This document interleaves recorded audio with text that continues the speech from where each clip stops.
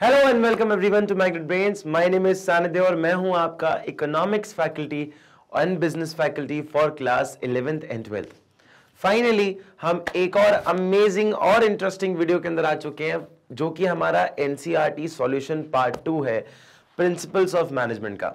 बेटा ये चैप्टर इतना इंपॉर्टेंट है और इतना ज़्यादा ज़रूरी है कि मैं आ, इसको शब्दों में कैसे बयां करूँ? बिकॉज़ इस चैप्टर में इतना सब कुछ है कि इसमें से केस स्टडीज़ ना जाने कितनी सारी पूछी जा सकती है। मतलब आपके पास एंडलेस केस स्टडीज़ हैं जो इसके अंदर से निकाली जा सकती हैं और बनाई जा सकती हैं आपके एग्ज़ाम पर्पसेस के लिए। तो इन एनसीआरटी क्वेश्चंस को करना और उनके सॉल्यूशंस को करना आपके लिए बहुत ज़्यादा ज़रूरी हो जाता है, क्योंकि जब आपसे डायरेक्ट क्वेश्चन पूछा जाता है या फिर आपसे कोई ऐसी बात करी जाती है जिससे कोई टॉपिक का एक्सप्लेनेशन मांगा जाए जब आपको टॉपिक कंठस्थ याद हो, रटा हुआ ना हो कंसेप्चुअली याद हो तो आप डिफ्रेंशिएट कर पाते हो कि हम किस टॉपिक या किस प्रिंसिपल या किस मैनेजमेंट के उस पॉइंट की बात कर रहे हैं जो कि हमारे आंसर को सेटिस्फाई करे। बेसिकली मैं अगर आपको ब्रेक डाउन करूँ केस स्टडीज़ को कैसे करा जाता है या किस हिसाब से पूछी जाती है तो मैंने एक चीज़ ज़रूर नोटिस करी है, ठीक है? मैं वो अभी आपको क्लास स्टार्ट करने से पहले बताऊँगा।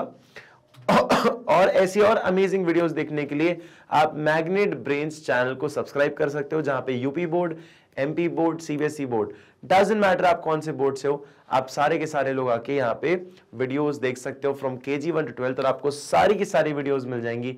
एकदम निःशुल्क। सानिध्य सर की वीडियोस चाहिए मैग्नेट ब्रेन्स पे आपको मिल जाएगी। नोट्स भी चाहिए तो डिस्क्रिप्शन बॉक्स में लिंक है। लिंक को प्रेस करके आप नोट्स भी अवेल कर सकते हो। Thank you so much everyone चलिए जी, हम चलते हैं टॉपिक के ऊपर।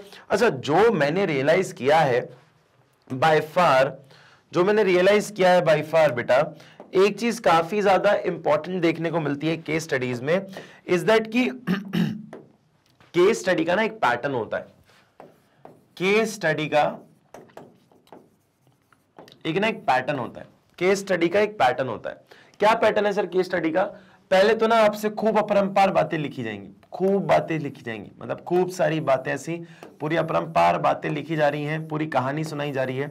अच्छा इसमें इंपॉर्टेंट पॉइंट क्या है? सबसे पहले जो ये जो स्टार्टिंग का आता है ना, अब क्या होता है केस स्टडी में बेटा आप किसी कंपनी को जानते नहीं हो। आप किसी कंपनी को जानते नहीं हो, आप ये नहीं जानते कि उस केस स्टडी में आप किस कंपनी की बात कर रहे हो और उस कंपनी में भी किस व्यक्ति की बात कर रहे हो, है ना? तो पहली जो एक या दो लाइनें होती हैं, उसके अंदर तो भैया इंट्रोडक्शन ही चल रहा है कंपनी का, कि कंपनी क्या है, क्या काम करती है और इस व्यक्ति, और ये व्यक्ति इस कंपनी के कौन से डेजिग्नेशन पे बैठा हुआ है, यही बताते रहते हैं पहली दो लाइनों में तो वो। पहली दो लाइनों में तो यही बताते हैं, पहली दो line is more like an intro intro रहता है। क्या ऑब्वियस सी बात है। आपको पहले किसी केस को समझाने के लिए पहले उस कंपनी को बताना पड़ेगा कंपनी क्या है। और उसके आ, कोई ऐसे एक व्यक्ति को बताना पड़ेगा कि उसका डेजिग्नेशन क्या है। हाँ या ना? तो एक छोटा सा एक इंट्रो सॉर्ट ऑफ़ रहता है। ठीक है? फिर आता है उसके बाद बेटा एक मेजर पार्ट यहाँ से जो कि स्टार्टिंग का जो पार्ट होता है ना स्टार्टिंग का पार्ट ये बताता है कि वो बहुत समय तक कोई अच्छा काम कर रहे थे। और उन्होंने प्लान किया कि वो इस प्रोजेक्ट के साथ जाना चाहते हैं। मैं हाइपोथेटिकल एक केस स्टडी बता रहा हूँ, है ना? मोस्टली यही होता है कि पहले इंट्रोडक्शन दे दिया, फिर उसके बाद बोला कि उन्होंने डिसाइड किया कि इस साल से उनको प्रॉफिट बढ़ाने थे, या फिर कुछ ऐसा काम करना हो, कुछ भी प्रॉफिट्स बढ़ाने थे, नया प्रोजेक्ट लेके आना था तो पहले वो एक इंट्रोडक्शन देंगे उस बात का कि क्या काम करने वाले हैं वो। उस काम के अंदर यहाँ से ना एक प्रॉब्लम आइडेंटिफाई होती है, इस वाले पार्ट से। ये जो इस वाला पार्ट है ना, इधर आपका एक्चुअल क्वेश्चन आता है। एक्चुअल क्वेश्चन जो है, वो यहाँ से चालू होता है कि फलाने आदमी ने ये नोटिस किया कि भैया, हमारे यहाँ पे ये प्रॉब्लम है है ना? या उसका प्रॉफिट नहीं हो रहा पा रहा था। और प्रॉफिट उसने आइडेंटिफाई किया, यहाँ पे बताएँगे कि उसने आइडेंटिफाई किया कि उसका प्रॉफिट नहीं हो पा रहा था या प्रोजेक्ट कंप्लीट नहीं हो पा रहा था। फिर वो बताएगा कि उसने यहाँ पे आइडेंटिफाई किया कि किस प्रॉब्लम की वजह से, किस प्रॉब्लम की वजह से वो आइडेंटिफाई मतलब किस प्रॉब्लम की वजह से वो अपना टारगेट पूरा नहीं कर पा रहे। और लास्ट में आपसे पूछते हैं कि भैया अपना सजेशन दो, और वही अपना आंसर होता है। आंसर होता है। लास्ट में बोलते हैं कि भैया अपना सजेशन दो, आपको क्या लगता है कि मिस्टर एक्स को क्या करना चाहिए सोल्यूशन इस सिचुएशन में? कौन सा ऐसा प्रिंसिपल है जो उनको मदद करेगा इस केस स्टडी को सॉल्व मतलब इस प्रॉब्लम को सॉल्व करने के लिए? तो बेटा वो कब बता पाओगे? जब आपको हर एक चीज़ कंसेप्चुअली याद होगी। तो मैंने एक तुम्हें एक पैटर्न बताया केस स्टडी क्या होता है। पहले इंट्रो देंगे फिर क्वेश्चन चालू होता है कि उनका एक एक इच्छा थी ऐसी उनको कोई काम करना था और वो काम नहीं कर पाए क्योंकि उस, उन्होंने उसके पीछे का रीजन आइडेंटिफाई किया। अब उनको सोल्यूशन चाहिए तो सोल्यूशन किसको बताना है? आपको बताना है। ये केस स्टडी है भाई साहब ठीक है? तो केस स्टडीज़ का पैटर्न याद रखना, यहाँ इस चैप्टर से केस स्टडीज़ काफ़ी आगे वाले सारे चैप्टर्स के अंदर अंदर आने लग जाती हैं। फ़र्स्ट चैप्टर से केस स्टडीज़ ऐसा आना कुछ भी नहीं होता है, लेकिन सेकेंड चैप्टर के बाद से केस स्टडीज़ भरपूर और भरपार मात्रा में आ सकती हैं। फिर आता है हमारे पास, चलिए जी, चालू करते हैं प्रिंसिपल्स ऑफ़ मैनेजमेंट के एनसीआरटी सॉल्यूशंस पार्ट टू सबसे पहला question short answers type question हम इससे पहले वेरी शॉर्ट क्वेश्चंस कर चुके हैं। How is the principle of unity of command useful to management अच्छा यूनिटी ऑफ़ कमांड क्यों यूजफुल है मैनेजमेंट के लिए? जरा देखना बेटा, एक व्यक्ति, अगर एक व्यक्ति कमांड कर रहा है सबको, एक व्यक्ति सबको ऑर्डर दे रहा है कि तुम्हें यह करना है, जवानों, हमारे खून का बदला, हमारे भाइयों के खून का बदला, हमें लेना ही पड़ेगा। How's the josh? High sir how's the josh? High sir how's the josh? High sir ठीक है? बेटा क्या कर रहे हो आप? एक इंसान कमांड दे रहा है बाकी सबको। ठीक है? कैसे एक्सप्लेन होता है? बेटा इससे केओस खत्म हो जाता है कंफ्यूजन खत्म हो जाता है। आपके यूनिटी ऑफ़ कमांड में क्या होता है बेटा? जब एक इंसान अगर कमांड दे रहा होगा ना तो सबको डायरेक्टली बात पहुँचती है। फॉर एग्ज़ाम्पल जैसे मैं बोलूँ अपनी पूरी टीम को मैं बोलूँ कि गाइज़ हमें आ, इस मंथ के एंड तक हमें ये टारगेट कंप्लीट करना है। हमें जो है, एक लाख बच्चों को पढ़ाना है, ये हमारा टारगेट है। ठीक है? मैंने बोल दिया बात खत्म। कोई इसमें इफ्स बट्स मे बी वगैरह कुछ नहीं। मैं हूँ, दूसरा कोई और आ गया, मैंने बोला एक लाख बच्चों को पढ़ाना दूसरा वाला बोलता है, सानिध्य सर ऐसे ही बोल रहे हैं, एक लाख बच्चों को पढ़ाना मज़ाक की बात है क्या? मज़ाक की बात है क्या, एक लाख बच्चों को पढ़ाना? भैया एक काम करो, तुम तो पचास हज़ार ले लो, पचास हज़ार का आइडिया ले लो, है ना? पचास हज़ार लोगों को बोल देते हैं अपन, कि पचास हज़ार लोग पढ़ा देते हैं। उसने आइडिया चेंज कर दिया, लोगों की मेंटालिटी चेंज हो गई, एक आता है, पचास हज़ार भी मज़ाक समझ रखा है ने महीने भर में पचास हज़ार बच्चों को पढ़ाना।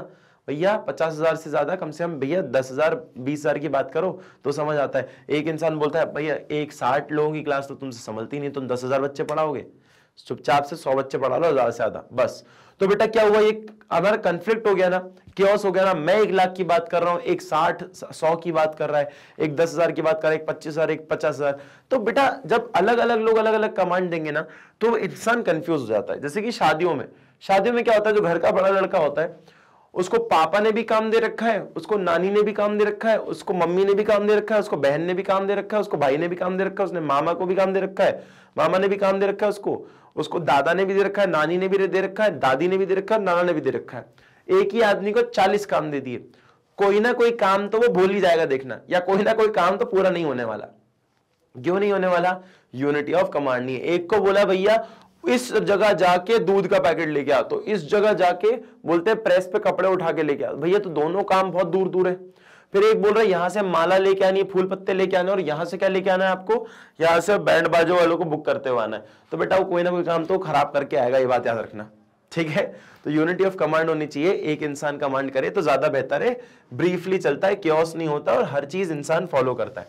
The principle of unity of command states the each subordinate should receive orders should receive orders and instructions from one boss only एक boss से ही वो instructions ले किसी और से नहीं if two or more superiors command a worker if दो या दो से ज़्यादा लोगों को superiors command करे एक worker को at a time at at the same time same time पे ही विल गेट कंफ्यूज वो कंफ्यूज हो जाएगा. To whom command should he follow किसकी कमांड उसको फॉलो करना है, वो कंफ्यूज ही हो जाएगा. वो कंफ्यूज हो जाएगा किसकी कमांड को फॉलो करे. चालीस लोग, अगर चार लोग इसको चार तरह की बातें बोलेंगे तो ऑब्वियस सी बात तो कंफ्यूज जाएगा कि इसकी सुनू, किसकी सुनू किसकी सुनू किसकी सुनू. हाँ या ना? तो इसीलिए if unity of command is maintained अगर यूनिटी ऑफ़ कमांड मेंटेन्ड हो इन दी ऑर्गेनाइजेशन ऑर्गेनाइजेशन के अंदर it would help to avoid confusion confusion आप दूर कर सकते हो। अमंग दी वर्कर्स वर्कर्स के बीच में, conflicts among the superior and create better relationship with workers and manager. बेटा जब बेटा जब जब एक वर्कर को वर्कर को चार अलग अलग लोग अलग अलग बातें करेंगे ना तो बॉस और वर्कर के बीच में भी लड़ाई होती है। सुपीरियर सबॉर्डिनेट के बीच में भी लड़ाई होती है। है ना? तो जैसे तुमने मूवीज़ में देखा होगा। मूवीज़ में क्या देखा होगा कि ये मेरे को बोलता है, मैं ये करूँ, ये बोलता है, मैं ये करूँ, ये बोलता है, मैं ये करूँ, ये बोलता है, मैं ये करूँ। मैं क्या मंदिर का घंटा हूँ क्या? जो मैं हर किसी की बात सुनते रहूँगा, कोई भी आके बजा के चला जाएगा। आपने देखा ना मूवी के सीन्स तो बेटा वो यही चीज़ को शो करना चाह रहे हैं। Unity of command unity of command तुमने एक और सीन देखा होगा। तुमने बोला लाश के बदले पैसा लाने के लिए। हाँ तो बोले लाश के बदले पैसा लाया ना? बोलते पैसा दिया ना तुमको? नहीं, पैसा कब दिया? तो ये लाश में लेके आया हूँ ना। अरे लाश मैंने मारा नहीं, लाश कहाँ से आई? लाश कहाँ से आई? अरे लाश ये वो लाश नहीं है रे। तो ये लाश तुम्हारे बाप की क्या? बाप मर गया? बेटा वो सीन याद है तुम्हें? एक मूवी का। तो वो क्या है? कंफ्यूजन है, क्योंकि एक आदमी कमांड नहीं दे रहा है, पाँच लोग मिलकर कमांड दे रहे हैं। समझ आया? सेम वही चीज़। Short answer type question short answer type question define scientific management state any three of its principle define करो साइंटिफिक मैनेजमेंट साइंटिफिक मैनेजमेंट को डिफाइन करिए और उसके अंदर तीन ऐसे प्रिंसिपल्स बताइए। चलिए जी let's see in the words of Taylor scientific management means exactly what you want men to do and seeing that they do it in the best and the cheapest way. क्या बोला? हमारे Taylor भाई साहब ने Taylor भाई साहब ने बोला कि साइंटिफिक मैनेजमेंट का मतलब है नोइंग एग्जैक्टली exactly, आपको पता है एग्जैक्टली exactly आपको क्या करना है। इंसान को आदमी को पता है कि क्या करना है और seeing that they do it in the best और उनको इसमें देखना कि सबसे बेस्ट तरीके और सबसे सस्ते चीपेस्ट तरीके में अपना काम करके दे रहे हैं। मतलब आपको पता है आपको काम क्या करना है और आप सबसे बेस्ट तरीके में और सबसे चीपेस्ट तरीके में वो काम करके दे रहे हो। इसे ही हम साइंटिफिक मैनेजमेंट कहते हैं। It means applying the standardised method क्या बोला जाता है? इसका मतलब है इसको स्टैंडर्डाइज मेथड कहा गया है। And tools to increase the output एक टूल है to increase the output output को इंक्रीज करने का its quality and to reduce cost उसकी क्वालिटी को इंप्रूव करने का और उसकी कॉस्ट को रिड्यूस करने का और वेस्टेज भी कम से कम करने का। The emphasis replacement of replacement क्या है? Rule of thumb rule of thumb को हम जो क्या कर रहे हैं रिप्लेस कर रहे हैं। That is personal judge, judgment by scientific selected methods and tool. Personal judgement के थ्रू और scientific selected method scientific selected method मतलब क्या? पूरा एनालाइज किया गया सब कुछ समझा गया तब जाके हमने कोई डिसीज़न लिया प्रिंसिपल बनाने का। बेटा प्रिंसिपल रातों रात नहीं बनते। प्रिंसिपल्स बनाने में दिमाग लगता है, समय लगता है, सोच लगती है। ठीक है? इस बात को जरा ध्यान रखिएगा। The principles of scientific management are principles क्या है? जरा देखिएगा। साइंस नॉट रूल ऑफ़ थम मैंने क्या बोला था अभी? कि रूल ऑफ़ थम को रिप्लेस करने की बात करें। Science but not the rule of thumb harmony not discord harmony not discord क्या बोलता है? हारमनी का मतलब है कि भैया, हम यहाँ पे कुछ अच्छी बात कर रहे हैं। हारमनी मीन्स फॉर एग्ज़ाम्पल कि हम व्यवहार की बात कर रहे हैं, हम खुशहाली की बात कर रहे हैं, ना कि लड़ाई झगड़े की, ठीक है? हम चाहते हैं कि पीस बना रहे, एकत्रता बनी रहे, ना कि लड़ाई झगड़े होते रहे। और कोऑपरेशन नॉट इंडिविजुअलिज्म का मतलब है कि यार मैं, बस मैं बस मैं बस मैं बस मैं। बेटा, एक इसी बात पे ना मेरे को एक चीज़ भी याद आई कि मैनेजमेंट हो या लाइफ हो, ये जो मैं है ना, ये बहुत बड़ा और बहुत ही खतरनाक हथियार है।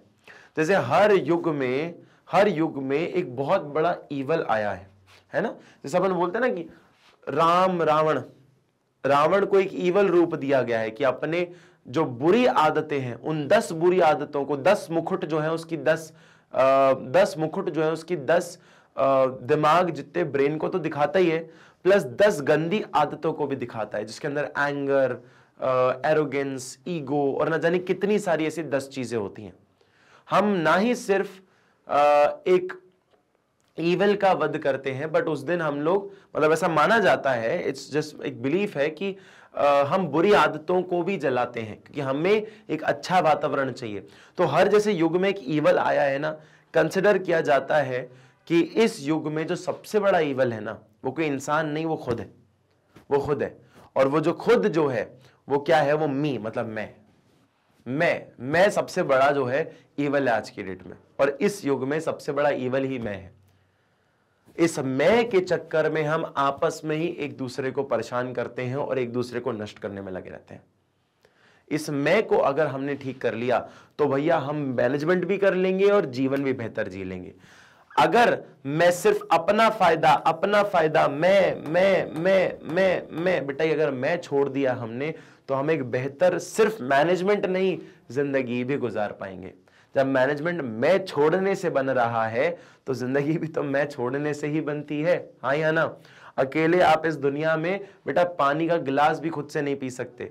ये बात याद रखना, पानी को भी प्योरीफाई करना पड़ता है आपके घर तक पहुंचाना पड़ता है, उसमें भी इंसानों की ज़रूरत पड़ती है। आप खुद अकेले सफिशेंट नहीं है। आप साथ में रहें कोऑपरेट करें और सबके लिए काम करें। ऐसा नहीं सिर्फ़ खुद के लिए, खुद के लिए। खुद के लिए भी करो, लेकिन दूसरों के लिए भी करना बहुत ज़रूरी है। This is cooperation not individualism clear समझ आया? कि इंडिविजुअल सब्जेक्टिव्स या मोटिव्स को पूरा करने के लिए काम मत करो। कलेक्टिव ऑब्जेक्टिव्स को पूरा करने के लिए काम करो। ठीक है? If question number three if an organisation does not provide the right place for physical and human resource अगर एक ऑर्गेनाइजेशन नहीं प्रोवाइड करती एक right place right place for physical and human resource physical या ह्यूमन रिसोर्स के लिए in an organisation which which principle is violated what are the consequences of it कि अगर मान लो कि अगर एक organisation does not provide the right place for physical and human resources कि मतलब इंसान के लिए और टूल के लिए अगर मैन एंड मटेरियल का सही से प्लेसमेंट नहीं कर रहे हो तो बताओ क्या उसके कॉन्सिक्वेंसेज uh, हो सकते हैं और कौन सा जो है प्रिंसिपल वायलेट हो रहा है। बेटा it is as simple as that order order देखो अपने को यहाँ पे क्या बोला है? अब देखो ना तुम कैसे कैसे जो है यहाँ पे खेला जाता है शब्दों के साथ। ऑर्डर का मतलब क्या होता है? ऑर्डर का मतलब अपन ने पढ़ा है हम वहाँ पे बोलते हैं ऑर्डर का मतलब होता है orderly arrangement orderly arrangement orderly orderly arrangement arrangement orderly arrangement of man and man and material orderly arrangement of man and material ठीक है? आप इंसान को और आप जो है मटेरियल को सही तरीके से मैनेज कर रहे हो, सही तरह से मैनेज कर रहे हो। मैन एंड मटेरियल अच्छा मैन एंड मटेरियल अब जरा देखना। मैन को हम ह्यूमन रिसोर्स भी बोलते हैं। मैन को हम ह्यूमन रिसोर्स भी बोलते हैं। ठीक है? अगर मैं मैन की जगह ह्यूमन रिसोर्स लिख दूँ तो ठीक है ना? क्या गलत बोला? एचआर क्या काम करता है? ह्यूमन रिसोर्स का क्या काम है? ह्यूमन रिसोर्स का क्या काम है? एचआर क्या करता है?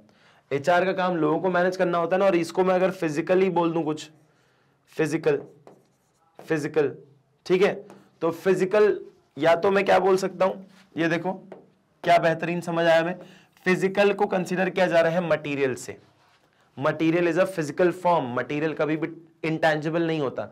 मटेरियल हमेशा टेंजिबल होता है। तो बेटा, दो नाम को आपने दूसरे एक सिनोनिम से या अलग टर्म से अगर डिनोट कर दिया तो उससे प्रिंसिपल चेंज नहीं हो जाता।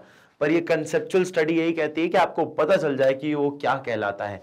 तो ऑर्डर बेटा, अब आपने देखा होगा, जैसे आप किसी मैकडोनल्ड्स में जाते हैं या किसी ऐसे बड़े रेस्टोरेंट में जाते हैं, वहाँ पे खाना आपको तुरंत दो मिनट में मिल जाता है। आप ऑर्डर करो साइड में और आपको पूरा प्लेट मिल जाती है ऑर्डर की। क्यों? क्योंकि उनका हर एक सामान और हर एक इंसान ऐसी जगह पे खड़ा है कि उनका हर काम बहुत जल्दी होता है। उनका जो ट्रे और टेबल रहता है ना वो एक हाथ की दूरी पे उनके पास हर एक इक्विपमेंट होता है। जैसे कि अगर वो एक जगह खड़े जैसे मैं इस जगह खड़ा हूँ और मैं बर्गर बनाना चाहता हूँ तो बेटा बंस यहाँ रखे होंगे, मैं निकाल के इधर रख दूँगा। मेरे उस टेबल के उस साइड पे एक लेडी है जो कि सब्ज़ियाँ काट रही है तो उसने सब्ज़ी काट के मेरे इस टेबल पे रख दी। काट के मतलब वो उस साइड है, उस टेबल से उसने काट के टेबल पे रखी, मैंने टेबल से उठाया, मैंने सब्ज़ियाँ डाल दी। आलू टिक्की भी मेरी यहीं पे रखी हुई आलू टिक्की मैंने रखा सॉसेज मेरे पास यहाँ रखे हैं तो मैंने सॉसेज वॉसेज डाल दिए और बन को रखा, एक रैप पेपर लिया, रैप पेपर में उसको रैप किया और जाकर प्लेस कर दिया। काम खत्म।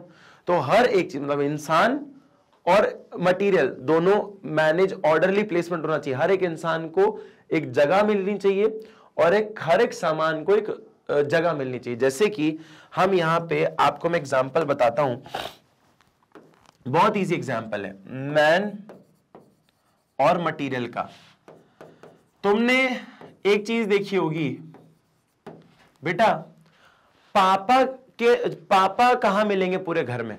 अपना घर है, तीन कमरों का घर है मान लीजिए, जिसमें दादा दादी रहते हैं, आप रहते हो आपका भाई रहता है, और या बहन रहती है, और आपके मम्मी पापा रहते हैं। पापा, मम्मी किसके रूम में मिलेंगे? ऑब्वियसली बात है मम्मी पापा के रूम में मिलेंगे दादा दादी किसके रूम में मिलेंगे? दादा दादी के रूम में मिलेंगे, है ना? आप लोग कहा मिलोगे? आप और आपके भाई बहन आपके रूम में मिलोगे हाँ या ना? अगर आप सेम रूम शेयर करते हो तो। तो बेटा क्या है? हर एक इंसान को मैनेज किया हुआ है, हर एक इंसान को अरेंज किया हुआ है। अगर आपको चाहिए कि सर सर मुझे खाना खाना है तो बेटा एक डाइनिंग टेबल नाम की चीज़ होगी, है ना? उस पर जाके खाना खाते होगे आप लोग। एक बेटा खाना बनाना है तो एक बेटा जहाँ पे चूल्हा रखा होगा ना, वहीं जाके खाना बनाएगा, क्योंकि उसे किचन बोलते हैं, है ना? अगर आपको फ्रेशन अप होना है तो आप किसी बाथरूम नाम की जगह जो है आपने अलॉट की होगी उधर आपको जाके शैम्पू टाइप की चीज़ मिलेगी। तो शैम्पू जाओ, शैम्पू से नहाओ, साबुन से नहाओ। साबुन कहाँ मिलेगा? किचन में? नहीं ना? साबुन आपको बाथरूम में मिलेगा राइट खाने की चीज़ कहाँ मिलेगी? लिविंग रूम में? नहीं। वो कहाँ मिलेगा? किचन में मिलेगा राइट सोफा कहाँ होगा? छत पे? नहीं। कहाँ होगा? लिविंग रूम में होगा। तो बेटा, हर एक चीज़ और हर एक इंसान ऑर्डरली प्लेस होता है। ऑर्गेनाइजेशन का एग्ज़ाम्पल बता दो सर ऑर्गेनाइजेशन में इंसान को ना कैबिन्स मिलते हैं। कैबिन्स कि प्रिंसिपल जो है वो कहाँ मिलेंगे? प्रिंसिपल कैबिन में मिलेंगे प्रिंसिपल ऑफ़िस में मिलेंगे, है ना? एक रूम अलॉट कर दिया जाता है। सीईओ e साहब कहाँ मिलेंगे? सीईओ e साहब का एक अपना ऑफ़िस है, अपना एक रूम है, उसमें मिलेंगे। मैनेजर साहब कहाँ मिलेंगे? मैनेजर साहब मैनेजर के कैबिन में मिलेंगे, है ना? तो ये सब चीज़ों का भी ध्यान रखना पड़ता है। ये ऑर्डरली अरेंजमेंट हो गया। और ये मटीरियल जैसे मान लो टेक्निकल कोई सामान रखना होगा तो टूल रूम होगा कोई सा। टूल रूम होगा, है ना? टूल रूम होगा। अगर होटल की बात करोगे तो होटल की सारी गंदी बेडशीट और साफ़ सुथरी बेडशीट कहाँ मिलेगी आपको? लॉन्ड्री रूम में मिलेगी, है ना? तो ये सब चीज़ें क्या है बेटा? सामान और इंसान का ऑर्डरली अरेंजमेंट करना। इसकी बात कर रहा है। वेस्टेज ऑफ़ टाइम इससे टाइम बर्बाद नहीं होता। अब अगर कैबिन ना अलॉट करूँ ना मैं इंसानों को तो अरे वो मिश्रा जी को देखो क्या? इधर नहीं है। कहाँ पे यार? वो तो किचन वो कैंटीन में देखा था उनको। कैंटीन तो में देखा था मिश्रा जी अरे वो कैंटीन भाई साहब, वो मिश्रा जी आए थे क्या? नहीं नहीं, वो तो चले गए। अच्छा कहाँ चले गए? बोलते, बाथरूम का, बोल के नहीं अच्छा बाथरूम? अच्छा मिश्रा जी मिश्रा जी, कहाँ पे हो? अरे, मिश्रा जी, पता नहीं वो उस ग्राउंड में घूम रहे कौन से ग्राउंड में? कौन से ग्राउंड में? कहाँ ढूंढू मैं? भैया सिंपल सी बात है, मिश्रा जी को एक कैबिन दे दो। आपको मिश्रा जी को ढूंढना उनके कैबिन में चला जाना, वहाँ मिल जाएँगे। सिंपल सी बात है। ठीक है? तो टाइम कम खत्म होता है और ऊपर से एनर्जी भी कम लगती है। आपको ढूंढना नहीं पड़ता ना कोई भी सामान या कोई इंसान को। Productivity will suffer productivity suffer करी जाएगी as resources would not be available at the right time resources जो है राइट right टाइम पे अवेलेबल नहीं होंगे. Obstacle in smooth working in an organisation obstacle रुकावट है. Obstacle in the smooth working in the organisation organisation के अंदर smooth working की बात कर रहे हैं. एक ऑब्स्टिकल की तरह काम करता है. अगर मान लीजिए अगर आप इसको ढंग से नहीं करेंगे तो. ठीक है? चलिए जी. Explain any four points regarding significance of principle of management principles of management के फोर पॉइंट सिग्निफिकेंट बताइए कौन कौन से हैं? आप क्या समझ पा रहे हैं इस पॉइंट को? चलो देखते हैं। Management principles are important due to the following reason management principle जो है ना इंपॉर्टेंट है कुछ फॉलोइंग रीजन की वजह से। क्या रीजन है sir they provide managers with useful insight manager को काफ़ी यूजफुल इंसाइट के साथ जो है वो लेके आते हैं रियलिटी में and help them to understand managerial situations managerial situations को अंडरस्टैंड करने में भी आपकी काफ़ी हेल्प करते हैं। They facilitate optimum utilisation optimum utilisation को फैसिलिटेट करते हैं। मतलब आप हर चीज़ें जो है विदाउट वेस्टेज अच्छे से, बेहतर तरीके से काम कर पाते हो। Of resources and effective administration administration आपका काफ़ी इफ़ेक्टिव हो जाता है क्योंकि आप हर चीज़ों को एकदम ऑप्टिममली यूज़ कर रहे हो। कोई भी दिक्कत, कोई परेशानी के बिना यूज़ कर रहे हो, है ना? चलो जी, ठीक है? फिर आता है भैया they help managers to take significant decisions वो क्या कर रहे हैं? हेल्प कर रहे हैं मैनेजर को एक सिग्निफिकेंट डिसीज़न लेने में based on logic rather than blind faith logics के ऊपर लॉजिक्स के ऊपर scientific management sorry they help managers to take scientific decision scientific decision लेने में उनको हेल्प करता है rather based on logics rather than blind faith कि अंधा विश्वास से ज़्यादा वो बिलीव करते हैं कि उनके ऊपर कुछ लॉजिक लाया जाए। मतलब किसी चीज़ के ऊपर उनको लॉजिक मिले। Rather than just blind faith हो उससे ज़्यादा वो चाहते हैं कि लॉजिक हो किसी भी चीज़ के अंदर, ठीक है? उसकी बात करते हैं। क्लियर है बेटा? समझ आया? And the last point would be the last two points would be they establish certain ethics कुछ एक एथिक बिल्ड करते हैं which helps to fulfil social responsibility toward society society में सोशल रिस्पॉन्सिबिलिटी फुलफिल करने की बात करते हैं। They establish certain ethics certain ethics को एस्टैब्लिश करते हैं which helps to fulfil social responsibility किसको फुलफिल करने की बात करते हैं? सोशल रिस्पॉन्सिबिलिटी को फुलफिल करने की बात करते हैं सोसाइटी के प्रति, ठीक है? They help organisation to adapt to changing business environment वो ऑर्गेनाइजेशन को हेल्प करते हैं अडेप्ट करने के लिए to changing business environment requirements क्या बिज़नेस एनवायरमेंट रिक्वायरमेंट्स को चेंज करने की बात कर रहे हो, क्योंकि चेंज होती हैं चीज़ें, उनकी बिज़नेस एनवायरमेंट डायनेमिक नेचर का है, बदलता रहता है तो आप भी बोलोगे कि हाँ हमें भी उसके अनुसार बदलना पड़ेगा। सिंपल सी बात है ना बेटा। जब जनरेशन बदलती है तो उसके लिए प्रोडक्ट्स भी बदल जाते हैं। अगर दादा दादी की जनरेशन होती तो नोकिया तैतीस दस अभी भी फ़ेमस होता। लेकिन आज की जनरेशन के हिसाब से they want high tech classy phones जो कि हर चीज़ में, हर एस्पेक्ट में बहुत अच्छे हों परफॉर्मेंस बहुत अच्छा हो। तो जब बिज़नेस का एनवायरमेंट बदलता है तो बिज़नेस को भी बदलना पड़ता है बिज़नेस के मैनेजमेंट को भी बदलना पड़ता है। हर चीज़ को रिलेटेड है। बिज़नेस का एनवायरमेंट मतलब बिज़नेस बदलेगा। बिज़नेस बदलेगा तो मैनेजमेंट बदलेगा। तो हर एक चीज़ से हमें यहाँ पे समझ आता है that we have to understand कि क्या इंपैक्ट है और उसको कैसे हम मैनेज करने वाले explain the principle of scalar chain and gang plank scalar chain क्या है और गैंग प्लान क्या है ये समझना है हमें। स्केलर चेन बेटा एक ऐसी चेन है कैसी एक चेन है? मान लीजिए कि यहाँ पे लोग हैं लोग हैं यहाँ पे लोग हैं वो एकदम सीधा सीधा एक दूसरे से बात नहीं कर सकते। अगर मान लो मुझे आ, ये मान लीजिए ये ए है ये बी है ये सी है ये डी है ये ई e है है ना? अब देखो जरा अगर मान लीजिए मुझे ए को बात करनी है डी से तो पता है क्या करेगा? पहले बी को बोलेगा कि ए को ये बता देना बी सी को बोलेगा कि डी को बता देना। सी इसके पास जाएगा, बोलेगा ए ने तुम्हारे लिए कुछ मैसेज भेजा है। ठीक है? बोलो, हर इंसान को लूप में रखो कि क्या कॉन्वर्जेशन हो रही है। ऐसा ना हो कि आपके बीच में ही बातें हो रही है और आपको पता ही नहीं है कि भैया काम क्या हो रहा है। मतलब आप अनअवेयर हो। मतलब टॉप लेवल मैनेजमेंट को ये नहीं पता कि लोअर लेवल मैनेजमेंट आपस में क्या काम कर रहे हैं। अरे भैया मुझे भी तो बता के रखो कि क्या काम हो रहा है। ठीक है? ऑल्सो ऐसी सिचुएशन को हम क्या बोलते हैं जहाँ पे इमरजेंसी सिचुएशन हो। इमरजेंसी सिचुएशन मतलब क्या? कि हमें ज़्यादा टाइम नहीं हमारे पास कम्युनिकेट करने के लिए तो हम क्या है? सेम लेवल पे सेम लेवल पे हम कम्युनिकेट कर लेते हैं। ठीक है? सेम लेवल पे हम कम्युनिकेट कर लेते हैं जिसका मतलब है आ, हमारा जैसे बी डायरेक्ट डी से बात कर सकता है ए डायरेक्ट ई से बात कर सकता है। और इसी चीज़ को बोलते हैं हम गैंग प्लैंक क्या बोलते हैं बेटा? इसी चीज़ को हम क्या बोलते हैं? गैंग प्लैंक बोलते हैं। ठीक है? जरा देखो इसको। बताओ क्या आप लोगों को ये समझ आ रहा है कि नहीं? चलो जी। आइएगा, जरा देखते हैं बेटा, क्या इसमें बताया गया है। चलो जी, मैं इसको क्लियर कर देता हूँ क्योंकि यहाँ पे भी आपके गैंग प्लैंक है। अकॉर्डिंग टू फ्यूल फ्यूल के अनुसार organisation should have a chain of authority organisation के पास एक चेन ऑफ़ अथॉरिटी होना चाहिए। एंड कम्युनिकेशन एक कम्युनिकेशन होना चाहिए कि भैया उनके पास एक चेन होनी चाहिए कि ऐसा देखो चेन दिख रहा है आपको। और एक कम्युनिकेशन का उनके पास एक ज़रिया होना चाहिए। That run from top to bottom should be followed by managers and their subordinate कि हर इंसान द्वारा ये मैनेज करना चाहिए। हर इंसान द्वारा ये फॉलो करा जाना चाहिए।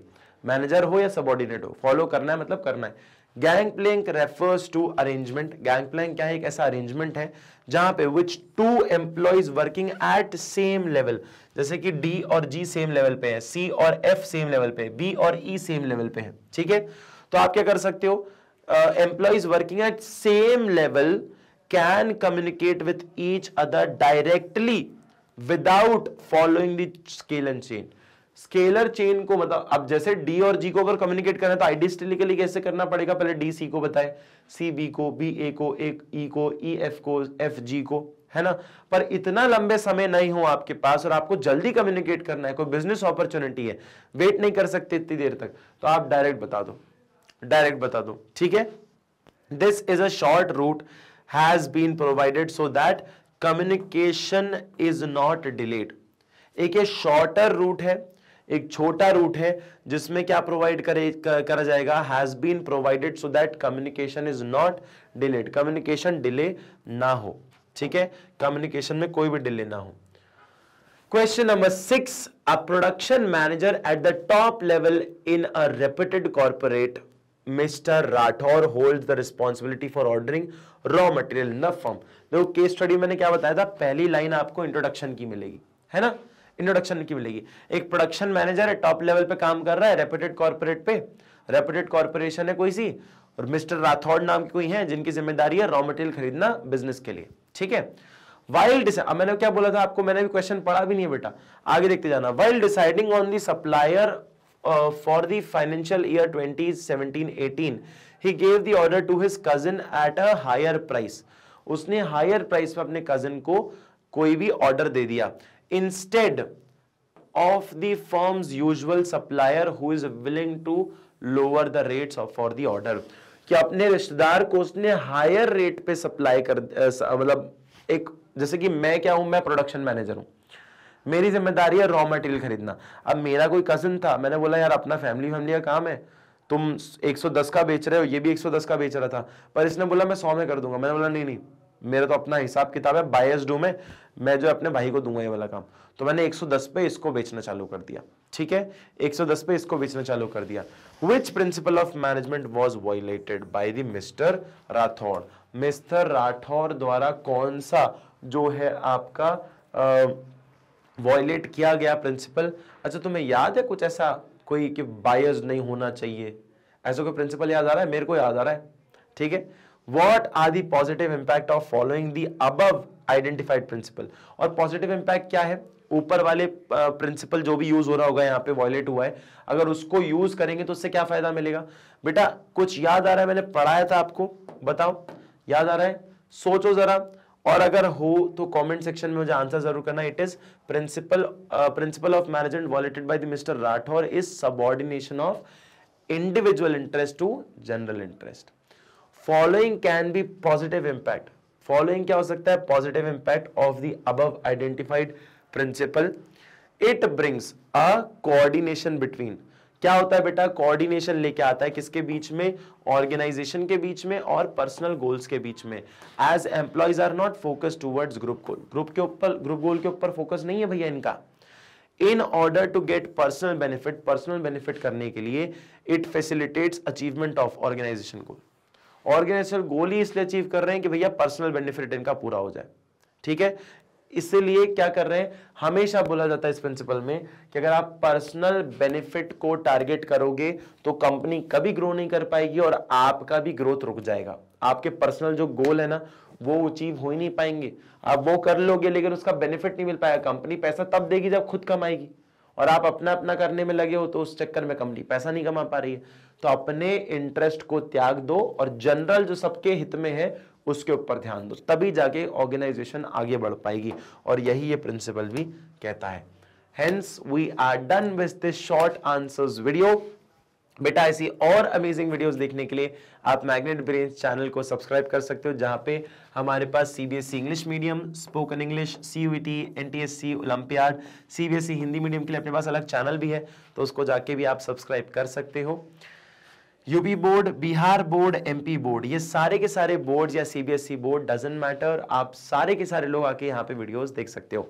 बेटा ये सारी वीडियोस निशुल्क हैं फ्री है। मैग्रेट ब्रेन्स की वेबसाइट पे जाके मैग्रेट ब्रेन्स के यूट्यूब चैनल पे जाके भी आप सारी वीडियोस देख सकते हो इंडिया के best of the best teachers से। ठीक है? और बेटा आईपैड हो मोबाइल फ़ोन हो लैपटॉप हो डजेंट मैटर आप किसी इंसान किसी भी पॉइंट पे जाके किसी भी डिवाइस के थ्रू बस इंटरनेट होना चाहिए और समय होना चाहिए पढ़ने का जो कि आप निकालेंगे बहुत ज़रूरी है पेपर भी आ रहे हैं। तो आ, बिल्कुल इसको जाके वीडियोस देख सकते हैं के जी वन से लेकर ट्वेल्थ तक के सारे के सारे स्टूडेंट्स इंडिया के सारे बेस्ट टीचर्स से पढ़ सकते हैं। और ना ही सिर्फ़ पढ़ना फ्री में, लेकिन उसके साथ अच्छा अगर आपको नोट्स चाहिए तो ई नोट्स और ई बुक्स बेटा, ये भी अवेलेबल है। अगर आपको 95 प्लस परसेंट लाने हो, या 100 आउट ऑफ़ 100 लाने हो तो भी आपके लिए ये नोट्स वगैरह बहुत ज़्यादा इंपॉर्टेंट है। डिस्क्रिप्शन बॉक्स में लिंक है वहाँ से आप अवेल कर सकते हो इन नोट्स और बुक्स को। बेटा ऑल्सो वन थिंग आपका जो आ, ये नोट्स है ये हम टीचर्स द्वारा बनाया जाता है तो उसमें मार्जिन ऑफ़ एरर के चांसेस ना के बराबर हो जाते हैं। तो जो आंसर आप देखते हो वही लिख के आते हो। इसीलिए पहले भी लोगों के हंड्रेड में से हंड्रेड आए। इस बार भी आए हैं, आगे भी आएँगे और आप ही लोग लेके आने वाले हो। तो बेटा डिस्क्रिप्शन बॉक्स में लिंक है, उसको जाके प्रेस करके आप नोट्स एंड बुक्स को अवेल कर सकते हो ई नोट्स और ई बुक्स को। और आप चाहो तो हमें दूसरे सोशल मीडिया प्लेटफॉर्म्स पर भी फॉलो कर सकते हो, जो कि है YouTube Facebook Instagram Twitter and Telegram पर भी। I hope you guys like the video thank you so much